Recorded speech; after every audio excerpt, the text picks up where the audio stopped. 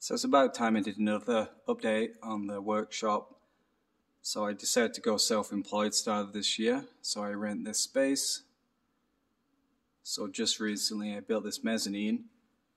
So that milling machine right at the end there used to be here and everything up there was somewhere around on the floor.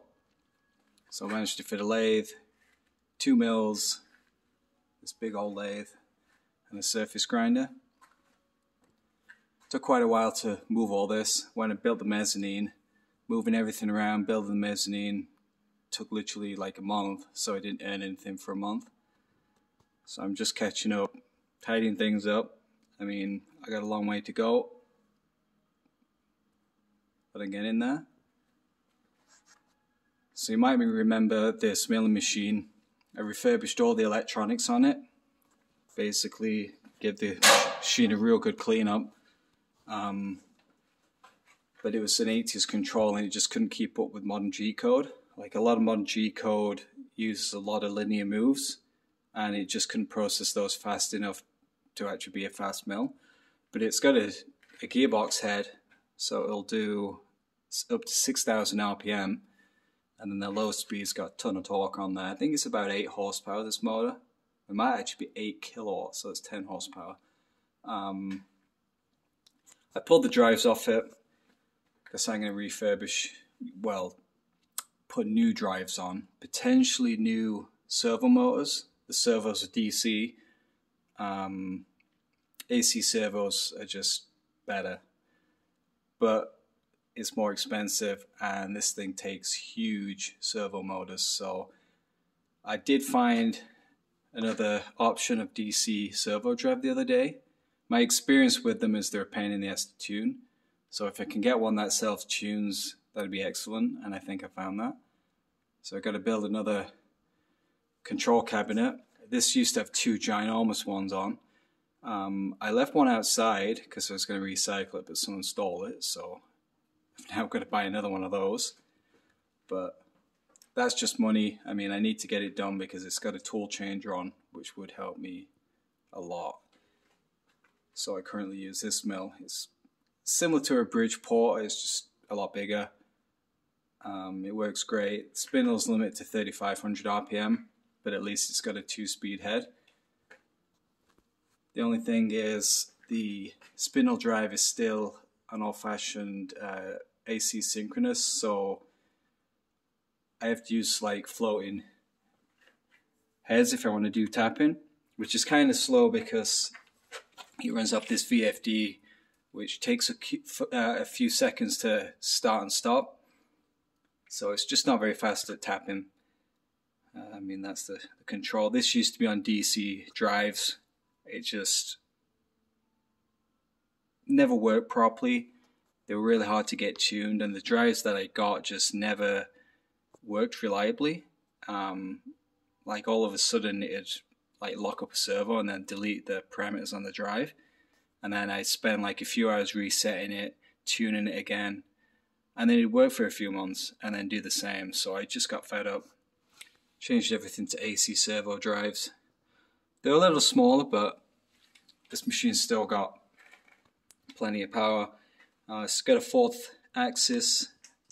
This thing weighs like 150 pounds, so I'm to build a tiny little table just so I can lift it at waist height. I don't have to break my back every time. Obviously I need a huge clear up.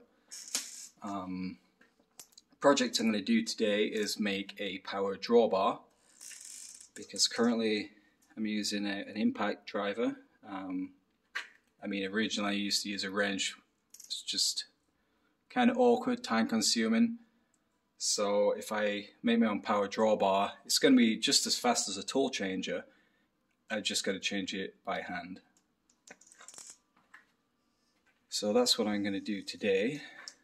Uh, my tools for it. It's kind of awkward because both machines have got different holders. So the mill I use all the time is a ISO 40 and then the other machine is a BT 40 but they're actually the same tapers, it's just the ends that are different. So you can actually buy a an adapter um, that fits onto this one, so I can use these tools in one of my other mill in the my main mill. I just can't ever use these in a BT40. My old lathe, I've got to restore this. The head bearings are pretty bad. I mean, I don't even think it's got regular bearings. It's probably bronze bushers in there. But that's for another day. Some tool holders I'm making for the lathe. So I've just got to do the caps on them. lathe itself. Can't show you too much in there because there's uh, a patented tool system, so don't want to show that off. My workbench, which is an absolute mess. This is my kiln, which I'm going to use to heat treat things. Maybe, I mean, I'm going to build my own um, foundry to melt aluminium or aluminum, which is what this is going to be eventually. So this can be used for heat treating that because aluminium loses a lot of its properties. So you need to quench it and artificial age it to get those properties back. So I just got to build a control for this. Um, the old systems worked on a cone, so it'd be like a just a cone of clay, and when it hits a certain temperature, it then bends and then knocks the switch off. So that's how they regulate temperature on there.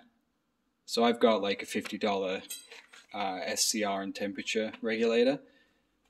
Finally got a chest camera. So I've had this GoPro for ages. I just haven't used it much. Um, the SD card holder broke, so it never held the SD card in properly. You have to kind of shim it in there with a piece of wire.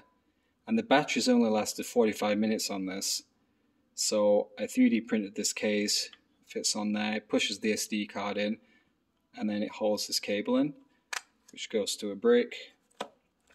So instead it only lasting 45 minutes, it now lasts 12 hours. And it's got a super big, um, I think it's 256 gigabyte SD card in there. So I'm going to do more videos of actually machining things. Uh, my surface grinder, so I recently made a pneumatic vise for it. I didn't have a magnetic one and I just had all these parts lying around. Um, the movable part is on linear rails just so when it climbs it doesn't lift. This is movable. It actually works fairly good. Paid $300 for this whole thing so it's probably worth that in scrap weight. But it does work. uh, my deburring wheels.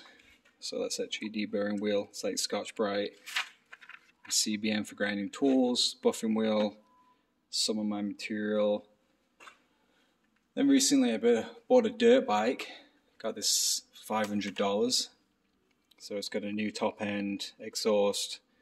Obviously needs a lot of work, but it runs great, goes through all the gears. I mean, just an example of some of the bad parts is people have used a castle nut as a spacer. I mean, actually, they've used a socket as a spacer for the back brake. Um, there's no caps on the reservoirs. In fact, the oil's not even connected to the case. It's just running a premix in the tank. So I need to fix that as well. I'm going to do a full refurb on it. I'm also going to try and increase the power. So I'm going to use the machines to billet every part, port it, all that kind of stuff. This is DT125. These only have, I think, about 17 horsepower compared to like a, a CR125, which has got close to 50. So I'm going to try and get it up there. That'll be a fun project. Billet everything. Just do something different. Uh, I mean, there's the hydraulic press project. That's uh, originally was forging, designed all this, built it all from scratch, all the castings, everything. So that's actually going to become a molding machine eventually. Apart from that, just lots to do. That's the servo, the Z-axis.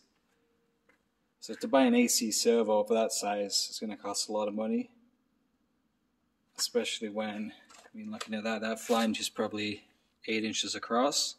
It's a 5 kilowatt peak, uh, 2 kilowatt continuous. So that's a really expensive motor to replace. might just use the old one, this one, and get DC drives, just so long I can get one that'll self-tune. Uh, the lathe, yep, that's pretty much it. Today is going to be the auto drawbar, so I'm going to try and do more of these videos, more of me machining stuff. That's why I got the chest camera. I want to do some more fun things, like some people find it interesting watching things being machined. I don't so much anymore because I've done it for quite a long time. Um, but there is other projects like there's the, the 3D printed gears, which is somewhere up there.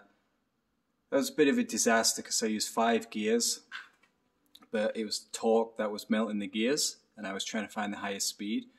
So I'm going to replace like the first three or four gears with steel ones, and then the last gear plastic, so at least then it can reach the high RPMs. Or I'll just redo it completely. I haven't decided yet. Um, another project is I've got a little generator engine. It's only like 80 cc, gives out like four four horsepower, and I'm going to build a dyno so I can test how much power it makes out, and then do modifications showing how you can make more power out of a four-stroke engine. And then obviously I'll do the same thing with the, the bike over there, the DT. Um, apart from that, there ain't a huge amount of projects to do. Just I gotta start making more money. So see you next time.